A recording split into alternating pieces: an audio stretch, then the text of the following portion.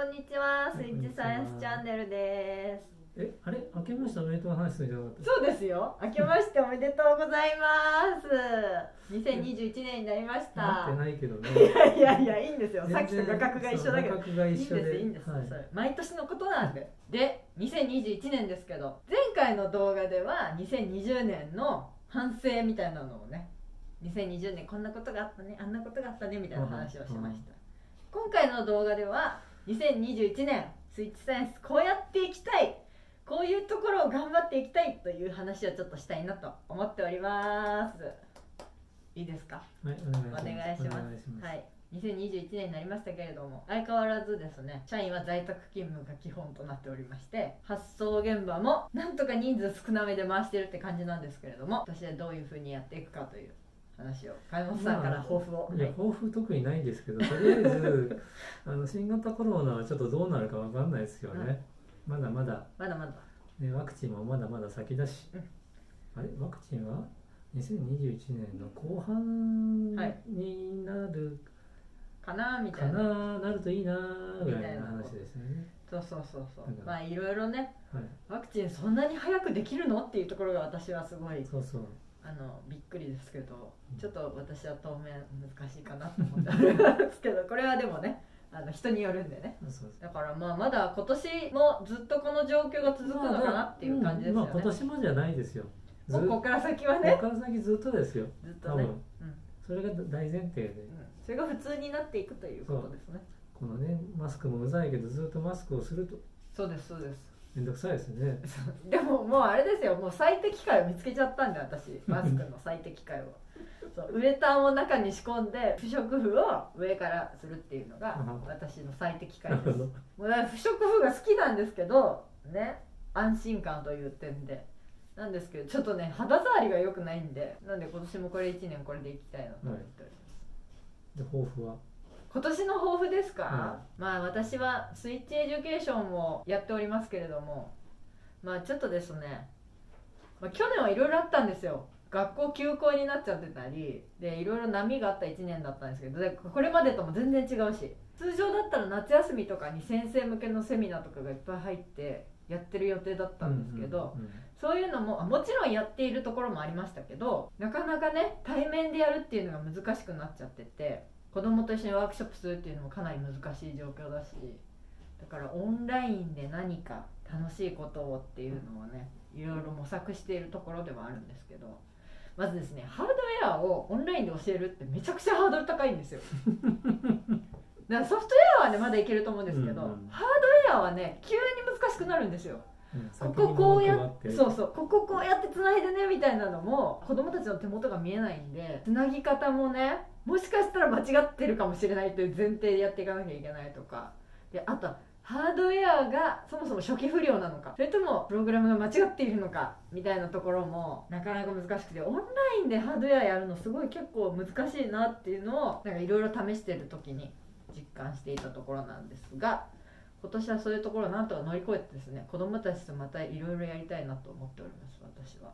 それが今年の抱負ですかね。あとなんかマイクロビットたった今たった今エレメント14と私ミーティングしてたんですけどマイクロビットの在庫が心配っていうのだけですね。そこをどうにか どうにかまた今年も世界中に声をかけてですね在庫をかき集めるっていうのを頑張りたいなと思っております。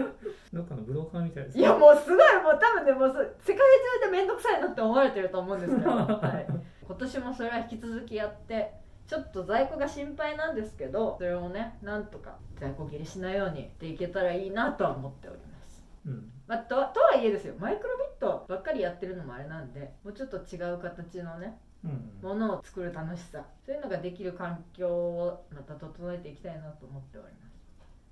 っていうのが私の今今年の抱負です。金本さんはどうですか？いや特にないんですよ。えますよねそうやってね。ね、もうとにかくね今ある環境っていうのかな。このまあこういう商売させてもらっててね、はい。お客さんにまあ可愛がってもらって、うん。でたくさん使ってもらってっていうのをなんとかい維持していくことがまあそれがまず本当第一ですよね、うん。変えないって意味じゃなくてそれがベースではい。これが絶対なんでここをなんなんとかその維持したいと。維持して次につなげていきたいな、はい。もうそれに尽きるんですよね、まあ、ここ特にここしばらく。まあそうですね。うん。ね、日々、うん、お金とか言ってるのはそういう話ですよね。そうそう。そうですそうです、うん、資金繰りがとかね。そうそうそうそうそう。でもようやくじゃないですか。なんか最近金本さんが現場に来てなんかこうなんかっていうのようやくなくなってきてうんうん。ようやく金本さん資金繰りをね 資金繰りに集中できるいや感いやいやじになってる別にそれ集中したくないんですよ。いやいやいやいやいやお金がたくさんね。いやそりゃそうそりゃそうだけどそりゃそうどんなね気楽なことかと思いいやいやますけど。でも金本さんそんないっぱいいっぱいお金があったらまた新しいことしたくなるじゃないですかね？いっぱいいっぱいおい金があったらや新しいことしましょうよいくらいやでも。私もやりたいんですよ新しいことをどんどんね私待ってでもこれきっと金本さんもそうだと思うんですけど新しいことが好きなんですよ結局。結局ね。なんかどんどん違うことやりたいんですよ。それじゃあ会社は回らないので、はい、今年もなんとか踏ん張ってですねやっていきましょうね。なのでだから抱負といえば、まあ金策。悲しい、まあ、それはまあ半分冗談なんですけどしょっぱい話をすると、まあ、今期は単体ではまあなんとか黒字。うん。連結ではだいぶちょっと赤字。はい。あの昨年度よりはだいぶ改善大きく大きく改善するんですけど、今期もまあちょっと赤字が残るかな。で来期は。来期ね。あさ4うち月ねうち4月からうねちあの4月始まりなんですけど、4月からの期に関しては通期で黒に持っていけるんじゃない頑張って頑張ってとか言って私私も頑張りますけど頑張りましょう。ね、ようやくようやく。よようやくようやく単体でも黒字、えー連結でも。連結でも黒字ってとこに持っていけるんじゃないのかな、持っていきたい。持っていきたい。もうちょっとこういろいろ、ね、気楽にお願いします。そうそうそうそう伸び伸び暮らせるように伸び伸び暮らせますね。いやいやそれでもね。黒字ってどういうどうやってこうやってこうやってでも黒字にするためには売り上げ上げなきゃいけなくて、はい。売り上げ上げをすると在庫を増やさなきゃいけそうもちろんそうですね。在庫を増やすためには現金を在そうですよ。在庫に変えなきゃいけないのでそう。キャッシュが不足するとなのでここをこここはね頑張って。そうそうそうう。なんとかこうすり抜けて。はい。そうですよ。私毎日毎日その表をこう見て。こう表を見てああみたいな感じでこっからこっちに移動してみたいなことをいろいろやっておりますから金本さん。うん。そうですね。はい、まあ、なので、まあ、しょっぱい話ですけど、まあ、そういうところで、まあ、動いてますというか。そうですね。まあなんとかプラスに持っていけるんじゃないのかな、はい。やっぱり会社はちゃんと成長していかなきゃいけないので成長していって、まあ、さっきほらほらそのいろんなことやりたいという話もあったけれども、はい。全然、ね、基軸の違うことっていう話もあるのかもしれないんだけど、そうじゃなくて、まあ、そのデジサイエンスの商売の中でも今その N- N5 スタックで、まあね、一つの柱になってきてるけれどもはい。じゃあそれ以外のそうじゃない別の製品をじゃあ扱いましょうとかいうことかもしれないし、あるいは自社で柱となる製品を作っていくっていうことかもしれないし、うん。まあ、そういったことをねしていくためにはやはり成長させていくのがそうですね。まあ、いずれにせよ成長だけはねし続けないと金本さん止まったら終わるんで会社は、うん。まあ、ちょっとずつね、ちょっとずつちょっとずつね。で停滞したら終わる。横横ばいっていうのは結構辛いんで、ごめんなさい。はい。頑張って金本さん。ねはい。ファブスタックともよりいい関係を築いてやっていきたいと思いますしもう何よりでもやっぱうちの商品を何か1個ね。いい商品を何か1個ができるといいなと私は思っておりますよ。いやそういうのはまぐれでしかないのでいやまあもちろんそうですけどでもあの続けてやっていかないことにはまぐれっていうのは訪れないので、うん。やっていかないとね。やっていかないといけないなとは思っております。頑張りましょうねじゃあ今年も 毎年言ってる気がするけど。でも今年はねまだねちょっと私いけそうだなっていう気がしてるんですよ。何が何がですなんか毎年去年よりはいけそうな気がしてるんですよね。まあ前向きなんで基本的には。いけそうな気がしてるんですよね。これなんか気になることありますか？今年。今年ねメーカーフェアとかどうなるのかなっていうのを私すごい気にしてるんですけどね。去年は京都はなくなっちゃったじゃないですか、うん。で東京は予定通り10月にオンサイトで行われましたよね。で別にねあそこから感染者が出たとかっていうこともなく、うん。京都は確か今年はやるんじゃないですかそうやる予定なんです、ねメーカーフェア京都は今年やる予定、うんそんな話ですよね。なんですよ。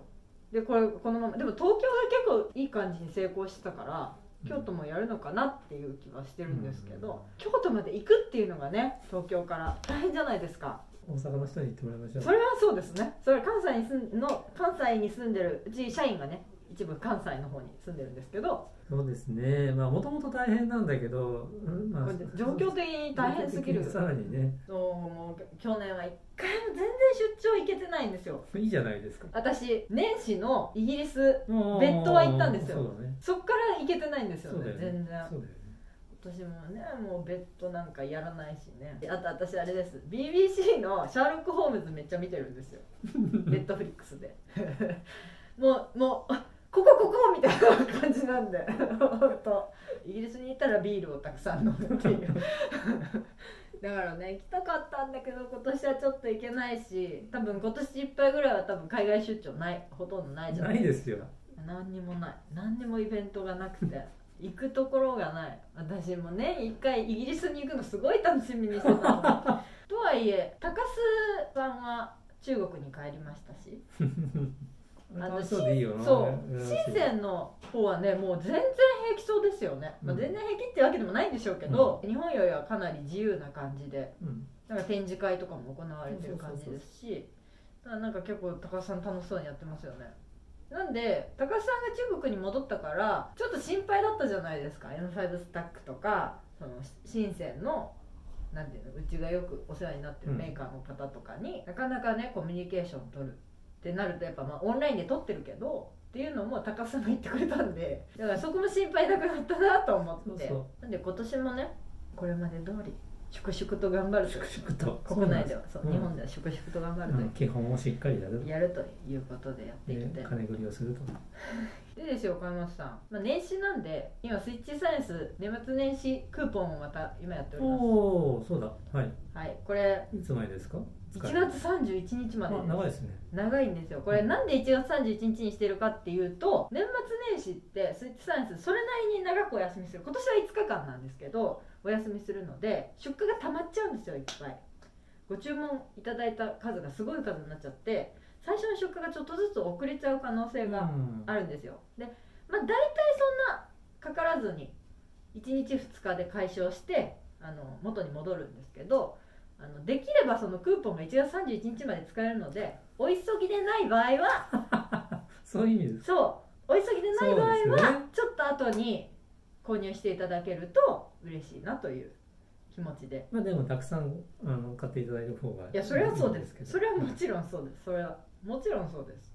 でもねあの休みの間ってどっちにしろ4日以降の発送になっちゃうんでクーポンは1月31日まで使えますので、はい皆さんぜひぜひスイッチサイエンスで年始のお買い物していただければと思います。だってものづくり始めですよ。作り始め何しようかな。ということでですよ金本さん、スイッチサイエンス今年も粛々と頑張っていきたいなと思っております。私はラズベリーパイ400も出るかな、出るといいですね、はい。楽しみだけどね、はい。出るはず。うん。こっから先 M5 スタックも多分新商品いっぱい出てくると思うしもちろんスイッチサイエンスもオリジナル商品新しいものどんどん出していきたいなと思っておりますので今年もどうぞスイッチサイエンスをよろしくお願いします。よろしくお願いします。というわけで今日はここまでです。また次回の動画でお会いしましょう。ありがとうございました、またそのうち。はい